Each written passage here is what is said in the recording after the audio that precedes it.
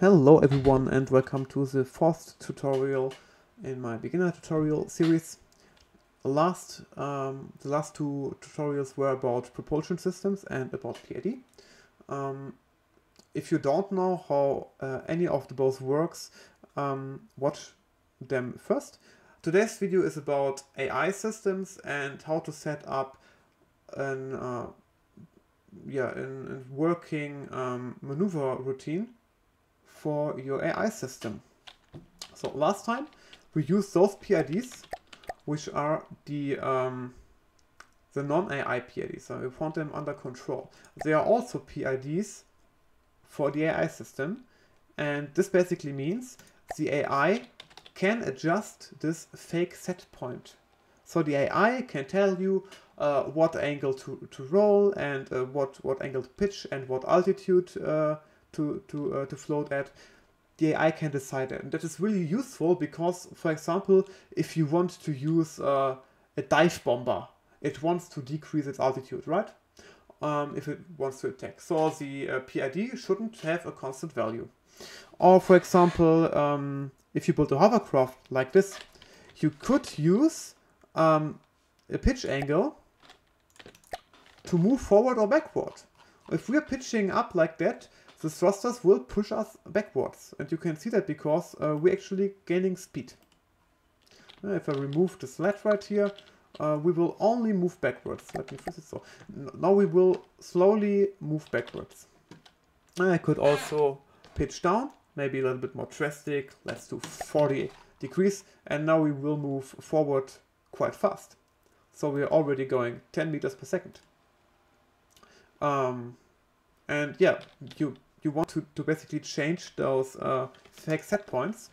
And this is where the AI uh, comes into play. So let's get ourselves an AI system by placing down the mainframe. And um, the fifth tutorial I'm gonna upload is about multi-block structures. So right now, let me just tell you how to set up the AI. You don't have to understand why it works that way we're now only talking about the um, the interface of the UI, so the, uh, the settings, not about how to build an AI system. The fifth tutorial will be about that anyway. So, um, if you only place down the mainframe, you already have a functional AI system, but you have to configure it first. So, let me, let me explain you what we've got here we have the behavior, the adjustments, the maneuver, the additions, the PIDs, and the basic settings. Forget about additions and basic settings. You only need this, this, this, and this tab. The behavior comes last. This is how the how this craft will attack. So first we will need we weapons and stuff like that. So um, right now we will only care about maneuver, PIDs, and adjustments. First of all, we need a maneuver because the maneuver tells the, uh, the craft how it is actually supposed to move. So if we add a maneuver, we have, for example, behaviors for ships and tanks, and we have um, behavior for hovercrafts. And this looks uh, like a hovercraft to me, so let's get the hover movement type. And now we, yeah, it's already doing a lot of stuff.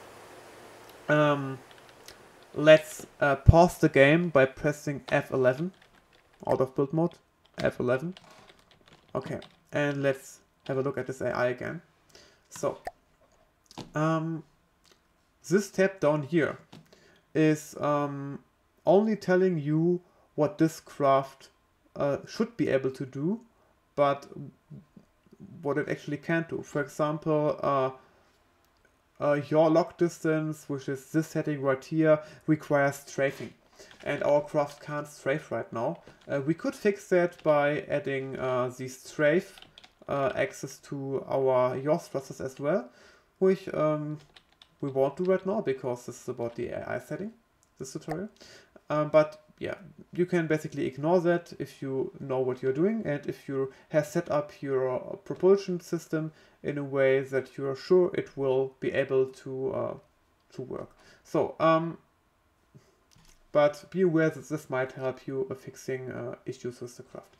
So right here we have um, the general settings for the maneuver. For example, the yaw lock distance. And um, if this craft wants to move to a waypoint, it basically stops yawing um, when it's uh, closer than 150 meters to the destination. And um, this basically means that it only shifts itself around the world. So it moves forward, backward, up, down, left and right without changing its orientation. Um, and yeah, you can basically uh, just work yourself along the settings by yourself because they're explained very well when you hover over them. Just uh, take yourself some time to understand what they do.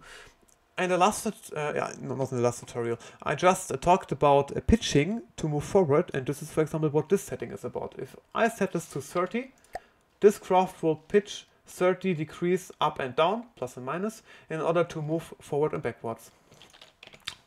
So, if I now let this AI do its thing again, let me remove those PID settings, uh, those PIDs by the way.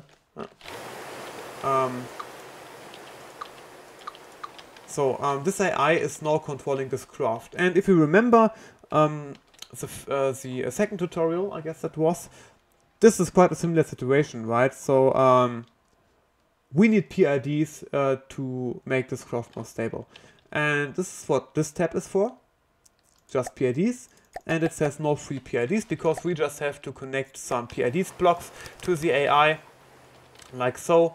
And now we can um, select three because it plays three blocks on, we can select three PIDs and we will need pitch, roll and hover. And there we go. Looks already way better, doesn't it? And because you watched my PID tutorial video, you know that we should decrease the gain. Yeah, look at the blue graph. And now it drops when I decrease again. And um,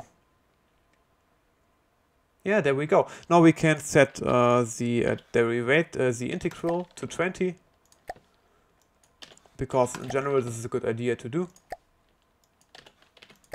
And then we could adjust the derivative as well, but this looks fine to me right now, so we won't do that. Um, you notice that our altitude is a little bit low for thrustercraft maybe, because if those uh, jet engines drop into the water, they won't be able, uh, they won't work anymore. So water is dangerous. Let's try to uh, keep a distance. What you could do right now is go to the hover PID and enable a fake set point right here. But um, this basically does not do anything right now because the AI is controlling um, this craft right now. So we have to tell the AI what altitude to stay at. And you can do this in adjustments. So we cared about uh, we uh, took care about maneuver, about PIDs. Now let's get to adjustments. And uh, here you have some general settings uh, right here. For example, um, that this craft should avoid all vehicles. And here we have the altitude settings. So the minimum altitude above water or land, both is dangerous because you could crash there. It should be, for example, 50 meters. And here we could set the max altitude, 600, 600 is fine for any aircraft, but let me tell you that the, uh, the, uh, the atmosphere density decreases above 500 meters, I guess. So let's set this to 500 meters to ensure maximum efficiency of our, of our jet engines. Um, and this is basically it. So if I set this to 500, this craft will try to stay at exactly 500 meters because it the minimum altitude is 500 and the maximum is 500 as well. So here we can also check how our uh, hover PID uh, behaves and if it is uh, set up correctly. Let's give it a few seconds. Our altitude is currently increasing.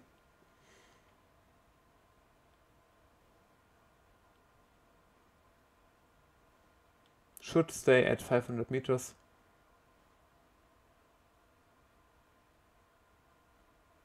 Well, we're overshooting quite far, so let's adjust the hover PID. And let's just increase the gain so um, it can change the altitude more drastically, so it can slow down faster. And yeah, there you see uh, it's approaching the 500 exactly. This is this is totally fine. It's an error of one meter. So this is a correct, perfect setup. And you notice that we are spinning. And um, this is weird, right? So let's check what's happening here. Um, to do so, you um, go into map mode and you enable this debug mode right here. And uh, this will now show you where the AI wants to go. So um, this AI wants to move above this point right here. It wants to, to move um, here in this position, but it isn't able to move over there because um, we don't have any forward propulsion. And let's see what those thrusters are enabled. Yeah, it's trying to yaw, but the yaw is really weird. So guess what? Let's add a yaw PID to ensure that this PID is uh, yawing better. Ah, now it actually did quite a good job at yawing, but um, yeah, let's add a yaw PID and just decrease the gain so it's slowing down a little bit. Uh, there you can see how this works out. Yeah, it's uh, approaching the exact yaw uh, angle it wants to be at because green again is the arrow. Here we were pointing in the opposite direction and uh, yeah, then we approached our perfect angle. And now we are checking again, so let's decrease the derivative. Let's see how that does. Uh, let's decrease the gain. It's doing some weird shit right now. But this probably has nothing to do with the PID, but with uh, the issue that we don't have any forward propulsion. So in order to make us go forward, we just have to add a thruster that pushes us forward. So let's add that, yeah, maybe just right here. They're set to forward, perfect. And maybe the same for backward movement, so they are set to main negative and back, perfect. And, and there we go. Now this thing is actually perfectly approaching this position. Um, yeah, it's it's uh it can already strafe as well, right? No, this is you're right. Oh, this is wrong. Where did this thrusters come from? So this is wrong. This this could be a strafe right. This means a sideways uh, movement, and this should be strafe left. Can't remember placing them down. Hmm, interesting. Yeah, and now you can see that this thruster is pushed push, uh, pushed out over there, and now this thruster over here will push us back. So um, they are also overshooting. So let's add another PID for strafing. Let's enable that as well. And now you have a perfect craft. Well, this is just uh, completely stable in the air. We can save that as propulsion example uh, 2. And there you have it. And the beauty about this craft right now, yeah, maybe you can already uh, notice what's wrong. It's again oscillating, so we need another PID for the forward axis as well.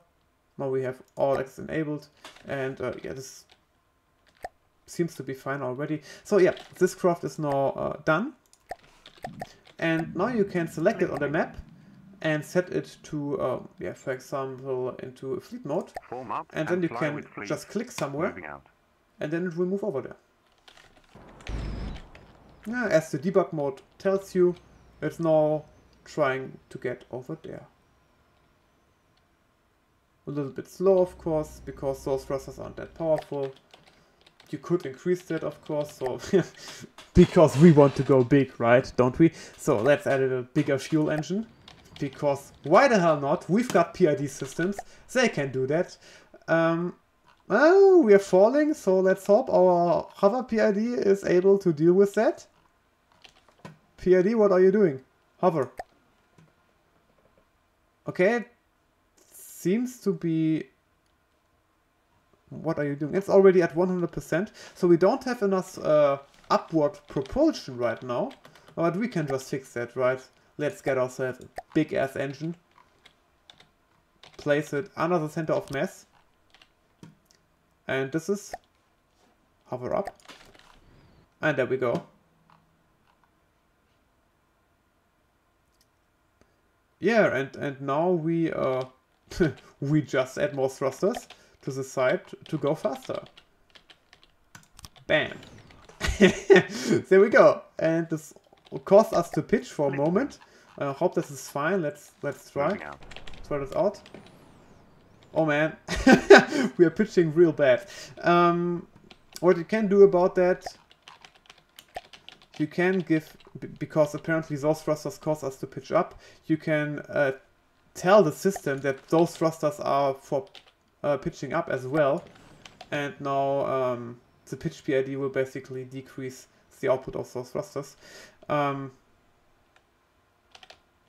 yeah, now you of course have to adjust your PID again, right? Uh, increase the gain of the pitch PID because we are we became heavier. So it has to be more aggressive. Maybe uh, 0 or 2, so uh, or maybe 3, so uh, more than doubled it in the uh, aggression. The PID is now off again, and um, so you can can adjust the yaw PID. Like it's the uh, the distance from one peak to another is like one second or so. So let's adjust the derivative, and then uh, let's decrease the gain. Maybe increase the gain because it was too low. Yeah, gain was too low. And uh, yeah, there you have a faster craft. We're now going at uh, 72 uh, meters per second. This is quite fast for from the depths. Yeah, so uh, this is how you uh, build, for example, an hovercraft. We actually done at this point, but um, I'm just gonna add another part where I'm, where I'm building a ship. Let's do that. Um, did I save the ship from the previous tutorial?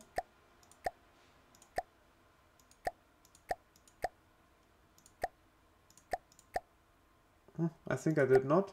So, um, yeah, let's just do that. Oh, is that the ship? No, that is the ship. Um, oh, that's something different. I just... Uh, okay, whatever. Um, let's just use this, this thing. Um, and give it some PID. So, um, first of all, we'll need a bigger uh, propeller because we want to go big. Let's also uh, disable this debug mode because it's a little bit annoying. Um, yeah, foreshadowing. Uh, next tutorial is a, uh, yeah not the next the next tutorial is about something different, but um, also gonna record the tutorial about missile systems because missiles are fun. Okay, um, if this craft now wants to go forward, it just pitches up, and in order to, to stabilize it, we need a thruster which causes us to pitch down. And this is just what I'm gonna add. So um, let's press R in order to copy the uh, to copy the block uh, I'm currently hovering about. R, there we go. And let's stabilize this again and just put down like the propeller right here. Make sure that it's under the surface. Or you know what? Let's make this easier.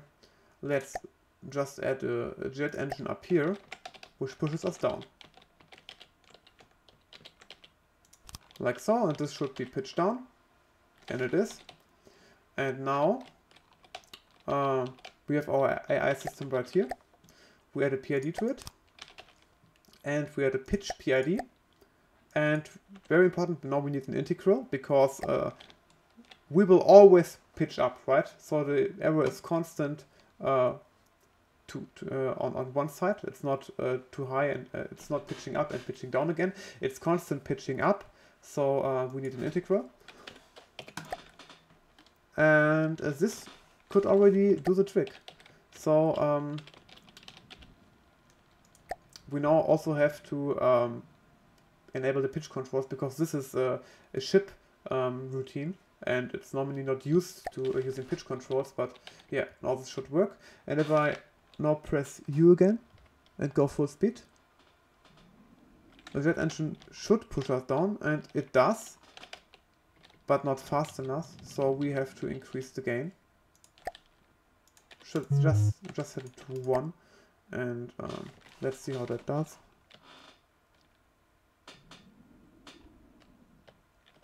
not sure what's what's going wrong right now. Um, oh yeah, it's because I'm I'm taking control over the craft, and yeah, yeah. If, if the AI moves, it's it uh, stabilizes itself. So um, if the player takes control of a craft, the uh, PID will disable. Form up and fly because the PID is part of the AI, and the AI just uh, notice, oh, the player tries to control the craft, so I'm shutting up. Um, yeah, but now you can see that, uh, first of all, our engine is not strong enough, so hmm, you already guessed it. Let's go big. um, and as you can see, this thruster tries to, to push us down. And it does this su successfully. Yeah, and without this thruster, just this would happen. Yeah. So this is how you uh, stabilize your, your, your stuff.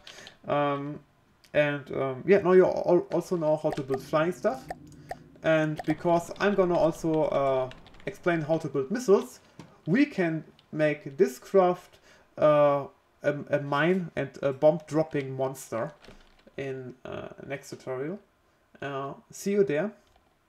Um, yeah, but first the next tutorial will be about multi-block structures which are very important. So uh, see you there and uh, thanks for watching.